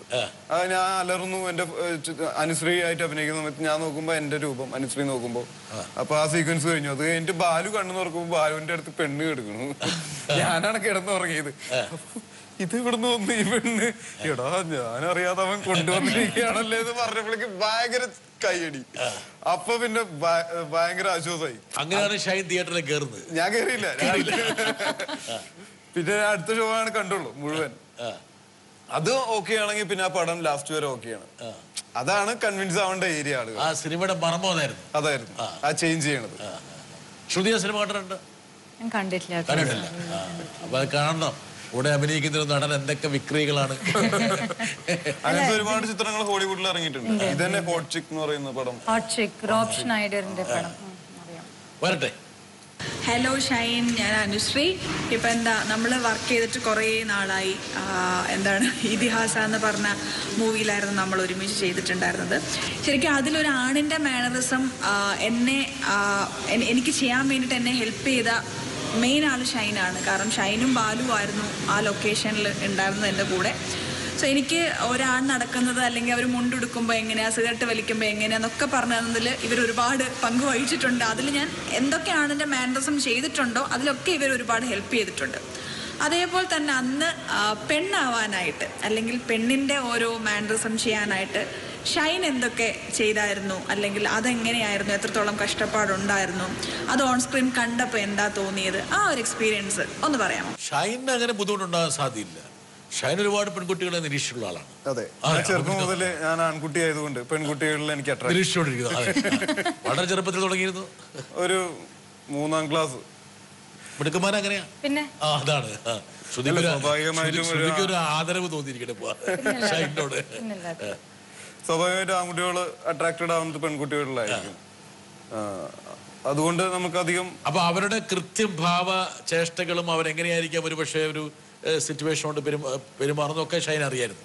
നമ്മൾ കണ്ടിട്ടുള്ളത്. കണ്ടിട്ടുള്ളത് പിന്നെ സിനിമയിൽ ആക്ടേഴ്സ് ചെയ്തിട്ടുള്ള പെൺവേഷങ്ങൾ ദിലീപേട്ടനാണെങ്കിലും കമൽഹാസനാണെങ്കിലും എല്ലാവരും ചെയ്തിട്ടുള്ളതൊക്കെ നമ്മുടെ ഐഡി ആ സമയത്ത് വരും നമ്മൾക്ക്. പക്ഷെ അവരിൽ നിന്ന് വ്യത്യസ്തമായിട്ട് എന്തൊരു ഒരു സ്ത്രീ സംബന്ധമായി എന്താണ് എന്തായിരുന്നു ഷൈന്റെ ഒരു യു എസ് പി അതായത് ഒരു പെണ്ണായിട്ട് അഭിനയിക്കേണ്ടി വരുമ്പോൾ സ്ത്രീയായിട്ട് അഭിനയിക്കു വരുമ്പോൾ പെട്ടെന്ന് ഞാൻ ഒരാളൊരു ഫോക്കസ് കൊടുക്കില്ല. ഒരു കാരിക്കേച്ചർ ചെയ്യുകയാണെങ്കിൽ ഏത് പോയിന്റിലായിരുന്നു ഷൈൻ? അത് ഇപ്പൊ ഒരു ആൺകുട്ടി ആയിരിക്കുമ്പോൾ അവൻ അധികം കോൺഷ്യസ് ആയിരിക്കില്ല. അവൻ ഇവിടെ നിന്ന് എഴുന്നേൽക്കാനും നടക്കാനും ഇരിക്കാനൊന്നും കോൺഷ്യസ് ആയിരിക്കില്ല. പക്ഷെ പെൺകുട്ടി ആകുമ്പോൾ ഇവിടെ നിന്ന് എഴുന്നേൽക്കുമ്പോൾ തന്നെ ആ. ഇങ്ങനെയൊക്കെ ആക്കി ഇരിക്കുമ്പോൾ തന്നെ ആ. ഓ ഷൈൻ മോശമല്ലാട്ടോ എത്ര? നിരീക്ഷണ പാടവം ഡീറ്റെയിൽ ആണത് ശരിയാണ്. ഡീറ്റെയിൽ ആണ് അതെ കറക്റ്റ് ഡീറ്റെയിലിംഗ് എന്ന് പറഞ്ഞാൽ ഇതൊരു കോമിക് ഡീറ്റെയിലിംഗ് ആണ്. ശരിക്കും നാച്ചുറൽ ഡീറ്റെയിലിംഗ് അല്ല. അത് കമലഹാസൻ കറക്റ്റ് ആയിട്ട് നാച്ചുറൽ ഡീറ്റെയിലിംഗ് ഈ ടോം സ്വേർ ഹക്കൽ ബറീഫിൻ ആ സീരീസിൽ അതായത് ഹക്കൽ ടോ- ഹക്കൽ ബറീഫിന്റെ ആണെന്ന് തോന്നുന്നു പെൺകുട്ടി പെൺകുട്ടിയുടെ വേഷം കെട്ടിയിട്ടാണ് ചെല്ലുന്നത്. ടോം സോയറാണ് ടോം സേവറാണ് പെൺകുട്ടിയുടെ വേഷം കെട്ടിയിട്ട് ഒരു വീട്ടിൽ ചെല്ലുന്നത്. ഒരു കൊച്ചു പെൺകുട്ടി കൊച്ചു പിള്ളേരാണല്ലോ അവരുടെ രസകരമായ. ആ സമയത്ത് അവിടെ ഇരുന്ന മുത്തശ്ശി എന്ത് വെച്ചാൽ ഈ നൂൽ ഇങ്ങനെ എന്റെ തുണി തുന്നിക്കൊണ്ടിരിക്കുകയാണ്. അപ്പോൾ ഈ നൂലിന്റെ ഒരു ബോൾ ഉണ്ടല്ലോ ആ ബോൾ ഒറ്റ എറിഞ്ഞു എറിഞ്ഞപ്പോൾ ടോം സെയർ ആ കഥാപാത്രം ഇങ്ങനെയാണ് ക്ലാപ്പ് ചെയ്ത്. ക്ലാപ്പ് ചെയ്തപ്പോൾ പിടിച്ചു. സാധാരണ ഒരു പെൺകുട്ടിയാണെങ്കിൽ they will spread the lake to receive it എന്ന് വെച്ചാൽ അവർ അവരുടെ ഡ്രസ്സും മറ്റു കാര്യങ്ങളൊക്കെ അങ്ങനെയാണല്ലോ. വരുന്നത്. ആ ഒറ്റ ജസ്റ്ററിലാണ് ഇവൻ പെൺകുട്ടി ഇവൻ ആൺകുട്ടിയാണ് എന്നുള്ളത് ആ മുത്തശ്ശി കണ്ടുപിടിക്കും. ഭയങ്കര സർവായ അവസ്ഥ ഒരൊറ്റ ജസ്റ്ററിൽ ഇപ്പൊ ഞാനിപ്പോ ഒരു ബോൾ ഇങ്ങനെ എറിയുകയാണെങ്കിൽ ഈ ഒരു ക്ലാപ്പ് ചെയ്യല്ലേ നിങ്ങളുടെ വസ്ത്രധാരണം അങ്ങനെയാണ്. അത് പിടിക്കണമെങ്കിൽ നിങ്ങൾക്ക് ക്ലാപ്പ് ചെയ്തേ പറ്റൂ. പക്ഷെ ശ്രുതിയാണെങ്കിൽ ശ്രുതിക്ക് കുറച്ചുകൂടി സ്പ്രെഡ് ചെയ്യും. ബിക്കോസ് ബേസിക്കലി അവരുടെ വസ്ത്രധാരണം സ്കേർട്ട് എപ്പോഴും ഒരു ഒരു ഒരു മെറ്റീരിയലിൽ പിടിക്കണ കുറച്ചുകൂടെ സ്പ്രെഡ് ചെയ്യാൻ അതെ ഒരു ചെറിയ മനസ്സിലായ? ഓക്കെ ഓക്കെ സൂക്ഷ്മമായ. മൈന്യൂട്ട് ഡീറ്റെയിലാണ് ഇത് അന്ന് ആ എത്രയോ പതിറ്റാണ്ട് മുമ്പ് പതിറ്റാണ്ടെന്ന് പറയാൻ പറ്റില്ല. ഞാൻ വായിച്ച ആ സംഭവം ഇപ്പോൾ ഷൈനത് പറഞ്ഞപ്പോൾ എന്റെ മനസ്സിലേക്ക് ശരിയല്ലേ അത്? ഏ?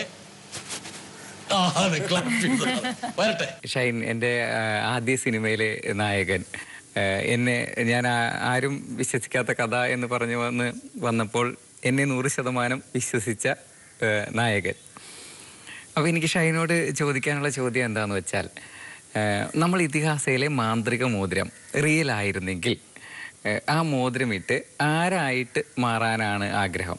അതായത് ഇപ്പോൾ ആ മോതിരമായിട്ട് വേണമെങ്കിൽ മോഹൻലാലായി മാറാം മമ്മൂട്ടിയായി മാറാം നരേന്ദ്രമോദിയായിട്ട് മാറാം അല്ലെങ്കിൽ നമ്മുടെ ലൈഫിൽ അത്രയ്ക്ക് ഇൻസ്പയർ ചെയ്ത വേറൊരു വ്യക്തിയായിട്ട് മാറാം. ആരായിട്ട് മാറാനാണ് ഷൈൻ ആഗ്രഹം? നമ്മുടെ ഇതിഹാസയിലെ മാന്ത്രിക മോതിരം കയ്യിൽ കിട്ടിയാൽ. ഷൈൻ എങ്ങനെയുണ്ടായിരുന്നു മൂപ്പറോടുള്ള അഭിനയം? ആദ്യം ബിനുവിന്റെ അടുത്തൊരു ഷോർട്ട് ഫിലിം ചെയ്യാനാണ് വരുന്നത്. കാരണം ബിനു ഈ സ്റ്റോറി ആയിട്ട് ബിനു ശരിക്കും അസ്റ്റ് അസ്റ്റ് അസ്റ്റ് ചെയ്തിട്ടില്ല. അസിസ്റ്റന്റ് ഡയറക്ടർ ആയിരുന്നില്ല. വെഡിങ് ഫോട്ടോഗ്രാഫറാണ് വെഡിങ്ങിന് ഫോട്ടോസ് എടുക്കുന്ന ഋഷി. ഇവർക്കൊരു ടീം തന്നെയുണ്ട്. ഇവർക്ക് ഇവരാണ് വീഡിയോസ് അല്ലെങ്കിൽ കല്യാണം ലവ് ലവ് സീനുകളൊക്കെ ഔട്ട്ഡോറിലേക്ക് കൊണ്ടുവന്നതും കുറച്ച് സിനിമാറ്റിക് ആയിട്ടൊക്കെ ഷൂട്ട് ചെയ്യാൻ തുടങ്ങിയ ആളുകളാണ് അവർ അപ്പൊ ഇവന് പടം ചെയ്യാനുള്ള ആഗ്രഹമായിട്ട് കുറെ ആക്ടേഴ്സിന്റെ അടുത്തും പ്രൊഡക്ഷന്റെ അടുത്തൊക്കെ സംസാരിച്ചപ്പോൾ അവർ പറഞ്ഞു നിങ്ങൾ അസിസ്റ്റന്റ് ഡയറക്ടർ അല്ല എന്ത് വിശ്വസിച്ചിട്ടാണ് ഞങ്ങൾ ചെയ്യുക? ഒരു കല്യാണ ക്യാമറമാനെ പിടിച്ച് ഒരു സിനിമ ആ ഒരു രീതിയിലായിരിക്കും അവർ കണ്ടിട്ടുണ്ടാവും കാണുന്നത്. അപ്പൊ- ഷൈൻ എന്ത് ഏത് ഘടക ആകർഷകമായി തോന്നിയത്? അല്ല അപ്പൊ അവരപ്പൊ അതിനൊന്നും അതിനു മുന്നേ തെളിയിക്കാൻ വേണ്ടിട്ട് ഒരു ഷോർട്ട് ഫിലിം ചെയ്യാൻ വേണ്ടി വന്നു. അപ്പൊ അപ്പോൾ എന്റെ അടുത്ത് പറഞ്ഞ് പടം ചെയ്യാനാണ്. അപ്പൊ അത് അതിനു മുന്നേ എനിക്ക് അതിനു മുന്നേ ഒരു ഷോർട്ട് ഫിലിം ചെയ്യണം. അപ്പൊ ഞാൻ പറഞ്ഞു അങ്ങനെയാണെങ്കിൽ പടം ചെയ്യുമ്പോൾ ഞാൻ തന്നെ വരാം. അങ്ങനെയാണെങ്കിൽ ഞാൻ ഷോർട്ട് ഫിലിമിന് വരാന്ന് പറഞ്ഞു. അപ്പൊ പിന്നെ ഓക്കെ. ഞാൻ എന്തുകൊണ്ട് സമ്മതിക്കണമെന്ന് വെച്ച് കഴിഞ്ഞാൽ അന്ന് ഞാൻ ചെറിയ ചെറിയ ക്യാരക്ടേഴ്സ് ചെയ്ത് ഇങ്ങനെ വന്നുകൊണ്ടിരിക്കുന്ന സമയത്ത് എനിക്ക് സ്വാഭാവികമായിട്ട് എനിക്കൊരു ലീഡ് ചെയ്യണം എന്നുള്ള ആഗ്രഹമുണ്ട്.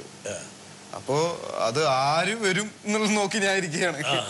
ഒരാൾ വരാൻ വേണ്ടി വേണ്ടി കാത്തിരിക്കുകയാണ്. അപ്പൊ എന്നെ സംബന്ധിച്ച് കൂടുതൽ ആലോചന ആലോചനയുടെ ആവശ്യം ഉണ്ടായിരുന്നില്ല ഒരു ലീഡ് ക്യാരക്ടർ വരുന്ന സമയത്ത്. അപ്പൊ ഞാൻ അതാണ് പറഞ്ഞത് ഷോർട്ട് ഫിലിം ഞാൻ ചെയ്യാം. പക്ഷെ പടം ചെയ്യുമ്പോൾ എന്നെ തന്നെ വെക്കണം എന്ന് അങ്ങനെ ഒരു ഷോർട്ട് ഫിലിം ചെയ്തു. പടം പടത്തിന്റെ ഐഡിയ എനിക്ക് ഷോർട്ട് ഫിലിം കഴിഞ്ഞിട്ടാണ് കാണിച്ചു തരുന്നത്. ഹോട്ട്ചിക്ക് കാണിച്ചിട്ടുണ്ട് പറഞ്ഞു. ഇതാണ് നമ്മുടെ ഒരു ഐഡിയ. അത് നമ്മൾ മോതിരം ഇട്ടിട്ട് അങ്ങോട്ടും ഇങ്ങോട്ടും ചേഞ്ച് ചെയ്യുന്ന ബോഡി ഞാൻ ഒരു പടത്തിൽ തന്നെ രണ്ട് പോർഷൻസ് അഭിനയിക്കാം. ആണായിട്ടും അഭിനയിക്കാം പെണ്ണായിട്ടും അഭിനയിക്കാം. ആദ്യത്തെ പടത്തിൽ തന്നെ. അത് ഒരു ആക്ടറെ സംബന്ധിച്ച് ഏറ്റവും വലിയ ഓപ്പർച്യൂണിറ്റിയാണ്. ഓപ്പർച്യൂണിറ്റിയാണ് അങ്ങനെ രണ്ട് രീതിയിൽ അഭിനയിക്കുക എന്ന് പറഞ്ഞു കഴിഞ്ഞാൽ. അപ്പോ അങ്ങനെയാണ് ആ പടം സെലക്ട് ചെയ്യുന്നത്. ഇനി ആ മോതിരം ഇപ്പോൾ ഇപ്പോ ഷൈന്റെ കയ്യിൽ ഉണ്ടെന്ന് വിചാരിച്ചോളൂ അതൊരു എന്താ പറയുക റിയലാന്ന് വിചാരിച്ചോളൂ. നേരത്തെ ഉള്ള ഒരു സറിയൽ അല്ല മാജിക്കൽ റിയൽ അല്ല. അപ്പോൾ എന്തായിരിക്കും ഷൈൻ? ആഗ്രഹിക്കുന്നത് ഞാൻ പെൺകുട്ടിയാവാൻ ആഗ്രഹിക്കുന്നില്ല. ഇല്ല. ഇല്ല. അതെന്താ അത്? അതെന്താ അത്? അല്ല എനിക്ക് അത്രയും കോൺഷ്യസ് ആവാൻ പറ്റില്ല. അല്ല കോൺഷ്യസ് ആകണമെന്ന് ആരാ പറഞ്ഞ പെൺകുട്ടിയാണ്. പെൺകുട്ടിയാണെങ്കിൽ കോൺഷ്യസ് അങ്ങനെ ആവേണ്ട ആവശ്യമില്ല. ഇല്ല എന്നാലും പക്ഷെ എനിക്ക് അത്ര ഇൻട്രസ്റ്റിംഗ് അല്ല അത്. ഇൻട്രസ്റ്റിംഗ് അല്ല. അല്ല. പെൺകുട്ടികൾ ഇൻട്രസ്റ്റിംഗ് എനിക്ക് പെൺകുട്ടിയോട് ഇൻട്രസ്റ്റിംഗ് ആണ്. പക്ഷെ പെൺകുട്ടി ഇൻട്രസ്റ്റിംഗ് അല്ല. അതല്ല ശ്രുതി ചോദിച്ചതെന്ന് വെച്ചാൽ വേറെ കൊണ്ടല്ല. അതായത് പെൺകുട്ടി ഏതെങ്കിലും തരത്തിൽ അല്പം ഇൻഫീരിയർ ആണെന്ന് തോന്നിയിട്ടാണോ? അത് വേണ്ട. അതല്ലേ അല്ല. ഇൻഫീരിയർ ആണെന്നല്ല പക്ഷെ വൈ എന്താ ആ, ഒരു അതെ, doubt? അതെന്താണ്? കാരണം എന്താണെന്ന് ജസ്റ്റ് അറിയാൻ വേണ്ടിയിട്ടാണ്. കാരണം അറിയാന്ന് പറഞ്ഞു കഴിഞ്ഞാൽ ഞാൻ ചെറുപ്പം മുതൽ ആൺകുട്ടിയായിട്ട് അനുഭവിക്കുന്ന കുറെ ഫ്രീഡംസ് പെൺകുട്ടികൾക്കില്ല. ആ അപ്പൊ അവിടെ ഞാൻ പറഞ്ഞ പോയിന്റ് അവിടെ വരുന്നുണ്ട് അല്ല ഇൻഫീരിയോറിറ്റി അല്ല. പോയിന്റ് കറക്റ്റ് ആണ്. പെൺകുട്ടികൾക്ക് അത്ര ഫ്രീഡം ഇല്ല. ഫ്രീഡം ഇല്ല. പക്ഷെ അത് ഇൻഫീരിയോറിറ്റി എന്റെ അനിയത്തി അല്ലെങ്കിൽ നമ്മുടെ വീട്ടിലെ പെൺകുട്ടികളാണെങ്കിൽ സ്കൂൾ വിട്ട് കഴിഞ്ഞാൽ വീട്. അത് പിന്നെ അവർക്ക് വേറെ പരിപാടികളൊന്നുമില്ല. നമ്മൾ സ്കൂൾ വിട്ട് വീട് എത്തി കഴിഞ്ഞാലാണ് പിന്നെ നമ്മൾ പുറത്തേക്ക് അതായത് ഇപ്പം അനുഭവിക്കുന്ന സ്വാതന്ത്ര്യത്തിൽ ഒരുപാട് കുറവുകൾ വരുന്നുള്ളത് കൊണ്ട് എന്തായാലും ഒരു പെൺകുട്ടിയായി മാറാൻ ആഗ്രഹിക്കുന്നു. ആഗ്രഹിക്കുന്നു. അത് ഫെയർ എനഫ് That's അതിന്റെ അദ്ദേഹത്തിന്റെ ആക്ച്വലി അതെ ഒരു പക്ഷെ അത് ഇത് പറഞ്ഞപ്പോഴാണ് പൂർത്തിയായത്. അതല്ലെങ്കിൽ അതിന്റെ ഇടയ്ക്ക് ഒരു ഗ്യാപ്പ് ഉണ്ടായിരുന്നു. അല്ലേ? ശരിയല്ലേ? അല്ലാതെ ഇഷ്ടമില്ലാത്തതല്ല പെൺകുട്ടികളോടുള്ള ഇഷ്ടമില്ലായ്മയല്ല. പെൺകുട്ടികളോട് ഇഷ്ടമുണ്ടെന്നുള്ള കാര്യം നേരത്തെ തന്നെ വ്യ- വ്യക്തമാക്കിയല്ലോ. മൂന്നാം ക്ലാസ് മുതൽ ഇഷ്ടം തുടങ്ങിയതാണെന്ന് പറഞ്ഞില്ലേ? ഞാൻ അല്പം മൈൻഡ് റീഡ് ചെയ്യുന്ന ആളാണ്. നല്ലൊരു പ്രണയം ഉണ്ടെന്ന് എനിക്ക് മുഖത്തുനിന്ന് മനസ്സിലാകുന്നു. ആഹാ എന്ന് പറഞ്ഞ എന്താ ഒരു തിരസ്കാരമാണോ അതെയോ? എന്താണത്? അത് അംഗീകരിച്ചതാണ്. അംഗീകരിച്ചാണ്. ഇപ്പൊ മോഹം കണ്ടു കഴിഞ്ഞാലേ ഉണ്ടല്ലോ യഥാർത്ഥത്തിൽ ഒരു ഷൈൻ ഒരു പ്രണയത്തിന്റെ മോഹ മോഹവലയത്തിൽപ്പെട്ടിരിക്കുകയാണ്.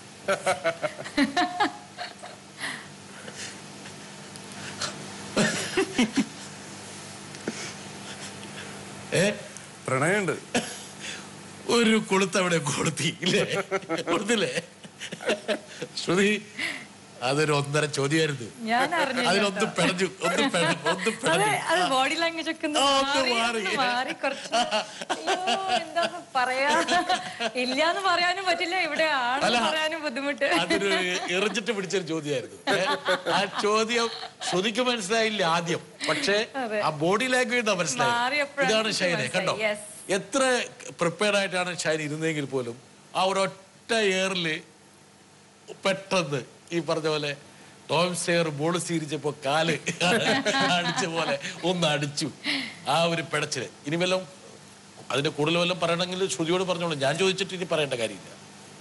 ആ ശ്രുതിയോട് ചോദിച്ചോളൂ എന്താണ്? എന്തുകൊണ്ടാണ് എന്തുകൊണ്ടാണ് പിടച്ചെന്ന് ചോദിക്കും? ഇല്ല ഞാൻ ഷ- ഷൈനെ അൺകംഫർട്ടബിൾ ആക്കുന്നില്ല. നമുക്ക് അല്ല അത് സംസാരിക്കാം. വളരെ കംഫർട്ടബിൾ ആയിട്ടുള്ള ഒരു അത് അതല്ല he you to that why ചോദിച്ചോ ശ്രുതി? ഇല്ല എനിക്ക് ഷൈൻ അങ്ങനെ പറയാൻ എന്തെങ്കിലും ഉണ്ടെങ്കിൽ ഷൈൻ എന്നോട് പറയും ഡെഫിനറ്റ്ലി അത്രയും ഫ്രണ്ട്സ് ആണ്? ഒരു കാര്യമുണ്ട്. ആ ഒരു കാര്യം പറഞ്ഞിട്ടില്ല. അത്രത്തോളം എനിക്ക് പറയാം. എനിക്ക് ഇതിനെ പറ്റി അറിയില്ല ഫസ്റ്റ് ഓഫ് ഓൾ ഞാൻ ഷൈനെ കാണുന്നത് ഒരു ഒന്നൊന്നര കൊല്ലത്തിന്റെ ശേഷം ഓ അതിനുശേഷമുള്ള ഡെവലപ്മെന്റ് ആയിരിക്കാം. അതെ, അതെ, അതുകൊണ്ട് ആണ്. അത് അന്ന് കണ്ടപ്പോ പറയാൻ പറഞ്ഞു പറഞ്ഞു കൊടുക്കാൻ പറ്റിയിട്ടുണ്ടാവില്ല. അല്ല കാണുമ്പോഴേക്കും ഒരാളുടെ അടുത്ത് ഈ കാര്യങ്ങളൊക്കെ നമ്മൾ അല്ല ഇതൊക്കെ ഇനിയിപ്പോ പ്രൊമോഷൻസ് ഒക്കെ കഴിഞ്ഞിട്ട് കുറച്ച് റിലാക്സ്ഡ് ആയിട്ട് ഷൈൻ ഇതിനെ കുറിച്ച് അപ്പൊ നമുക്ക് പ്രണയ ഈ പ്രണയത്തിന്റെ എന്താ പറയാ ആ, ഒരു സൗരഭ്യം നുകർന്നുകൊണ്ടിരിക്കുന്ന ആ, ഷൈന് നമുക്ക് എല്ലാവിധ ആശംസകളും നേരാം. പിന്നെ? ശരി ഞാൻ അവിടെ നിർത്തിട്ട് ഇനി ഞാൻ ഒന്നും ചോദിക്കണ്ടല്ലോ ചോദി പറയണേ പറഞ്ഞോളൂ. വേണ്ട. ആ. പക്ഷെ ഒരേ ഒരേ പ്രൊഫഷനിലുള്ള ഒരാളുമായിട്ടുള്ള പ്രണയത്തെ കുറിച്ച് ചില ആശങ്കകളൊക്കെ ചില ആൾക്കാർ പറഞ്ഞു തന്നിരുന്നോ ഇല്ല അങ്ങനെ ഇല്ല അത് നമുക്ക് പ്രശ്നമുള്ള കാര്യമല്ല. ഏ? അങ്ങനെ പറയാ- പറയാറില്ലേ ആൾക്കാർ ഒരേ പ്രൊഫഷനിലുള്ള ആൾക്കാരാണ് രണ്ടുപേരും തിരക്കാണ് രണ്ടുപേരുടെയും ജീവിതത്തിൽ എന്തായാലും ഭൂമിയിൽ തന്നെയല്ല എല്ലാവരും. അപ്പൊ ഞാൻ ഒരു ക്ലൂവും കൂടി ഇട്ട് തന്നു. വെൽ ഡൺ ജെബി സർ മനസ്സിലാവുന്നുണ്ട്. എന്റെ ചോദ്യവും ഇതും കൂടി എടുത്ത് വെച്ച് ചേർത്താൽ അതിന് ഉത്തരം കിട്ടും. ഈ വലിയൊരു ബ്രേക്ക് നൽകിയൊരു പടമാണ്. മാത്രമല്ല ആ പടം അതിന്റെ സംവിധായകനോട് വളരെ കാണണമെന്ന് ആവശ്യപ്പെട്ട ശേഷം ഞാനത് ഓൺലൈനിൽ പിന്നീട് അത് കണ്ടു എനിക്ക് തോന്നുന്നു നമ്മുടെ സാമൂഹ്യ പരിസരത്ത് നിന്നുള്ള അർത്ഥവത്തായിട്ടുള്ളൊരു മൂവിയാണ്. ഒരു കാസ്റ്റിന്റെ മുകളിൽ ഉണ്ടാകുന്ന അല്ലെങ്കിൽ മതം ജാതിക്ക് മുകളിൽ ഉണ്ടാകുന്ന ഇത്രയും പുരോഗമനപരമായ സമൂഹമാണെന്ന് പറയുമ്പോൾ പോലും യഥാർത്ഥത്തിൽ എന്താണ് നമ്മുടെ സമൂഹമെന്ന് ഒരിക്കൽ കൂടി നമ്മളെ ഓർമ്മപ്പെടുത്തുന്ന ഒരു സിനിമയാണ്. എന്ത് പറയണം ശ്രുതി? ഈ പടത്തിന്റെ ഒരു എക്സ്പീരിയൻസ് വാസ് ജസ്റ്റ് ബ്യൂട്ടിഫുൾ ഈ പടത്തിന്റെ ഫസ്റ്റ് ചോയ്സ് ആക്ച്വലി ഞാൻ അല്ലായിരുന്നു. ഷാനവാസ് സർ പോയിട്ട് കുറേ ഹീറോയിൻസിനെ അപ്രോച്ച് ചെയ്തു. ഇത് പുള്ളി തന്നെ എന്നോട് പറഞ്ഞതാണ്. പിന്നെ അനിത എന്ന ക്യാരക്ടർ ഒരു ദളിത് പെൺകുട്ടിയായ കാരണം ഒരുപാട് ഹീറോയിൻസിനെ അതിനെ ചെയ്യാൻ ആ ക്യാരക്ടർ പ്ലേ ചെയ്യാൻ ബുദ്ധിമുട്ടുണ്ടായിരുന്നു. താല്പര്യം ഉണ്ടായിരുന്നു താല്പര്യം ഉണ്ടായിരുന്നില്ല അതായത് ഒരു ഒരു ദളിത് പെൺകുട്ടിയുടെ വേഷം അതിലെ ജാതിപരമായ അത് ഞാൻ പറഞ്ഞ സംഭവം. രണ്ട് അതിന്റെ ഒരു ഗ്ലാമർ ഇല്ലായ്മയുടെ ഒരു ഒരു കോഷ്യന്റ് പിന്നെ ഈ സിനിമ ഒരു റിയലിസ്റ്റിക് മൂവി ആയതുകൊണ്ടുള്ള അതിന്റെ പ്രശ്നങ്ങൾ. എത്രയോ നടിമാര് വേണ്ടെന്ന് വെച്ച ഒരു ശ്രുതിനെ സംബന്ധിച്ചത് നല്ലതാണ്. അവർ വേണ്ടെന്ന് വെച്ചു. എനിക്ക് അവരോട് താങ്ക് യു എന്ന് പറയാനുള്ളൂ താങ്ക് യു വെരി മച്ച് പിന്നെ ഒരു ക്യാരക്ടർ ചെയ്യുമ്പോൾ അതിന്റെ ജാതിയും കാര്യങ്ങളും നമ്മൾ നോക്കേണ്ട കാര്യമില്ല. നമ്മൾ പെർഫോം ചെയ്യാനല്ലേ പോകുന്നത്. അല്ല അതാണ് നമ്മുടെ സിനിമയിലെ യാഥാർത്ഥ്യം അതാണെന്ന് ഒരുപക്ഷെ ഒരു പക്ഷെ സിനിമ നമ്മുടെ സമൂഹത്തിന്റെ യാഥാർത്ഥ്യം കാണിച്ചു കൊടുത്തപ്പോൾ ശ്രുതി എന്നുള്ള നടിയിലേക്ക് എത്താൻ ഈ സംവിധായകൻ നിർബന്ധിതനായത് ഇൻവെർട്ടർ കോൺ നിർബന്ധം എന്ന് പറയുന്നത് അന്ന സമയത്ത് ഇന്ന് ഒരു പക്ഷേ you be more than happy about it ആ ആ ഒരു യാഥാർത്ഥ്യം കൂടി ഇതിനകത്ത് ശ്രുതി പറഞ്ഞതിലുണ്ട്. അതിനെക്കുറിച്ച് ഷൈൻ എന്നുള്ള നടന്റെ അഭിപ്രായം എന്തായിരിക്കും? അല്ല എനിക്ക് എന്നെ ബാധിക്കുന്ന കാര്യങ്ങളല്ലേ? ഒരാളുടെ കാസ്റ്റ് അല്ലെങ്കിൽ ഒരു റിലീജിയൻ അത് പ്രത്യേകിച്ച് സിനിമയിൽ വരുമ്പോ ഇപ്പൊ സിനിമയിൽ നായകന്മാര് അങ്ങനെ ഇപ്പൊ സ്ത്രീകളോട് അങ്ങനെ ഒരു ഇഷ്യൂസ് ഉണ്ടല്ലോ. സ്ത്രീകളെ കുറച്ച് കാണിക്കുന്ന സീക്വൻസ് അല്ലെങ്കിൽ അവരെ മോഡിൽ ഇത് കാണിക്കുന്ന അവരെ താഴ്ത്തി കിട്ടുന്ന സീക്വൻസുകൾ ചെയ്യാൻ പാടില്ല നടന്മാര്. അങ്ങനത്തെ ഒക്കെ ഉണ്ട്. പക്ഷെ അതൊരു ആക്ടർ ഒരു ക്യാരക്ടറിനെ പ്രസന്റ് ചെയ്യില്ലേ. അങ്ങനത്തെ വേറെ ഏരിയയിലേക്ക് പ്രവേശിക്കുകയാണ് ശരിയാണ്. കറക്റ്റ് ആണ് വേറെ അതേപോലെ തന്നെയാണല്ലോ അവർ ഈ കാസ്റ്റ് ചെയ്യാൻ പാടില്ല എന്ന് അവർ പറയുന്നതിൽ അർത്ഥമില്ല അത്. അതാ നോക്കുന്ന ഔട്ട്ലുക്ക് തന്നെ ഇറ്റ്സ് വെരി ഡിസ്റ്റർബിങ് അൺനാച്ചുറൽ ആണ് ഈ കാസ്റ്റിസം ക്ലാസിസം നമ്മുടെ നേച്ചർ ഒരു ഡിഫറൻഷിയേഷനും ഇല്ലാതെ ഉണ്ടാക്കിയിരിക്കുന്നു ഷൈൻ ഒരു പ്രണയത്തിന്റെ മോഹ വലയത്തിൽ അത് അത് ബോഡി ലാംഗ്വേജ് ഒക്കെ മാറി, കുറച്ച്. പറയാ? ഇല്ലാന്ന് പറയാനും പറ്റില്ല ഇവിടെ ആണെന്ന് പറയാനും ബുദ്ധിമുട്ട് വിവാദങ്ങളെ നേരിട്ട ദിനങ്ങളെ ഓർത്ത് ഷൈൻ ടോം ചാക്കോ ശരിക്കും അന്ന് എന്താണ് അവിടെ സംഭവിച്ചത്? കള്ളക്കടത്ത് കച്ചവടം ബിസിനസ് ഇന്റർനാഷണൽ മാഫിയ കണ്ണിയാണ് അതിന്റെ ബിസിനസ്സുകാരനാണെന്നൊക്കെ ഈ രണ്ടു മാസത്തോളം നല്ല രസകരമായിട്ട് എഴുതി. എക്സാജറേഷൻ ആയിരുന്നു. എന്തൊക്കെയാണോ നിയമത്തിന്റെ കുടുക്കിൽ പെടുത്താവുന്ന സാധനങ്ങൾ അതെല്ലാം ഫാബ്രിക്കേറ്റഡ് ഞാൻ ജീവിതത്തിൽ ആദ്യമായിട്ട് ഒരു പുസ്തകം വായിച്ചത് വരട്ടെ. എനിക്ക് ചോദിക്കാനുള്ളത് ശ്രുതിയുടെ ജീവിത സാഹചര്യങ്ങളിൽ നിന്നും വളരെ വിഭിന്നമായ ഒരു ക്യാരക്ടറാണ് അനിത. ശ്രുതി ബോംബെയിൽ ജനിച്ചു വളർന്ന് അവിടുത്തെ ജീവിത രീതിയിൽ ജനിച്ചു വളർന്ന ഒരു കുട്ടിയാണ്. അനിത പൊന്നാനിയിൽ ജനിച്ചു വളർന്ന് അവരുടെ പ്രണയത്തിന്റെ തകർച്ച അതിന്റെ സ്ട്രഗിളിങ് തുടർന്ന് അതിനെ നേരിട്ട രീതി ജീവിക്കുന്ന ഒരു കുട്ടിയാണ്. രണ്ട് ക്യാരക്ടർ രണ്ട് ലൈഫിൽ നിന്ന് നിങ്ങളുടെ ലൈഫിൽ നിന്ന് വളരെ വ്യത്യസ്തമായ. അപ്പോൾ ഏത് തരത്തിലാണ് നിങ്ങളെ അനിത സ്വാധീനിച്ചത്? അല്ലെങ്കിൽ ഏത് തരത്തിലാണ് അനിത ഞാൻ പറഞ്ഞ അനിതയെ നിങ്ങളുടേതാക്കി മാറ്റാൻ എന്തായിരുന്നു നിങ്ങളുള്ള തയ്യാറെടുപ്പ്? അല്ലെങ്കിൽ ഏത് തരത്തിലുള്ള സ്ട്രഗിളിങ് നേരിടാൻ നേരിട്ടിട്ടുണ്ട് എന്നൊക്കെ അറിയാൻ ഒരു കൗതുകമുണ്ട്. അല്ലെങ്കിൽ അത് ഓഡിയൻസിന് അറിഞ്ഞാൽ കൊള്ളാവുന്നു ഞാൻ വിശ്വസിക്കുന്നു. അതാണ് ഷാനവാസ് പാവക്കുട്ടി കിസ്മത്തിന്റെ ഡയറക്ടർ ഇത് ആക്ച്വലി ഷാനവാസ് സാർ ഇങ്ങനെ പറഞ്ഞപ്പോൾ ഈ ക്യാരക്ടറിനെ കുറിച്ച് എന്നെ എന്നോട് കഥ നറേറ്റ് ചെയ്തു. കഥ പറഞ്ഞപ്പോൾ ഞാനിങ്ങനെ ശരി ഞാൻ ആലോചിച്ചിട്ട് പറയാമെന്ന് പറഞ്ഞു. അപ്പോൾ ഒരുപാട് പേര് ഇൻഡസ്ട്രിയിൽ നിന്നും ഇൻഡസ്ട്രിയിൽ നിന്നാണ് മെയിൻലി എന്നോട് പറഞ്ഞു ക്യാരക്ടർ ചെയ്യണ്ട. ഞാൻ പറഞ്ഞു നല്ലൊരു ലവ് സ്റ്റോറി അല്ലേ? ഇത് ആക്ച്വലി റിയലി നടന്ന ട്രൂ സ്റ്റോറിയാണ് എനിക്കൊരുപാട് ഇഷ്ടപ്പെട്ടു. ആൻഡ് സാർ എക്സ്പ്ലെയിൻ ചെയ്ത് തന്നപ്പോഴും എനിക്ക് ഇഷ്ടപ്പെട്ടു. അപ്പോൾ എന്താ അത് ചെയ്യേണ്ട? നല്ല മേനൻ മേനൻ കുട്ടിയാണ്. എന്തിനാണ് ഒരു ദലിത്തായ പെൺകുട്ടിയെ പോർട്രേ ചെയ്യുന്നതെന്ന് ചോദിച്ചു. അപ്പോൾ അപ്പോഴെനിക്ക് കുറച്ചൊരു തരത്തിൽ ഇറിറ്റേഷനും കുറച്ചൊരു കോമഡി ആയിട്ട് തോന്നി മിക്സ്ഡ് ഫീലിങ്സ് ആയി. അപ്പോൾ അതിന്റെ ഒരു വാശി വെച്ചിട്ടാണ് ആക്ച്വലി ഞാൻ അല്ല ഇത് ഞെങ്ങി ഞാൻ ചെയ്തിട്ടേ ഉള്ളൂ എന്ന് പറഞ്ഞിട്ട് ഞാൻ അതായിരുന്നു എന്റെ മെയിൻ ഫാക്ടർ അതെന്താ ദളിത്തായ ഒരു പെൺകുട്ടിയെ പോർട്രേറ്റ് ചെയ്യണ്ടെന്ന്? ഞാൻ മേനനായ കാരണം എനിക്ക് ആ ഈ കാസ്റ്റിസം ടൂ തൗസൻഡ് എയ്റ്റീനിലൊക്കെ കാസ്റ്റിസം എന്നൊക്കെ പറയുമ്പോൾ it's it's like a joke അല്ല പ്രളയം വന്നപ്പോ ഒരു കാസ്റ്റ് ഇഷ്യൂ നമ്മൾ കണ്ടില്ല. പ്രളയം വന്ന പ്രളയം പ്രളയം വന്നപ്പോ Exactly. ജാതിയും മതവും ആരാണ് ഭക്ഷണം തരുന്നെന്നോ ആരുടെ വീട്ടിൽ വെച്ച ഭക്ഷണമാണെന്നോ? ആരാണ് രക്ഷിക്കാൻ വരുന്നതെന്നൊന്നും ആരും ചോദിച്ചില്ല ചോദിച്ചില്ല. കറക്റ്റ്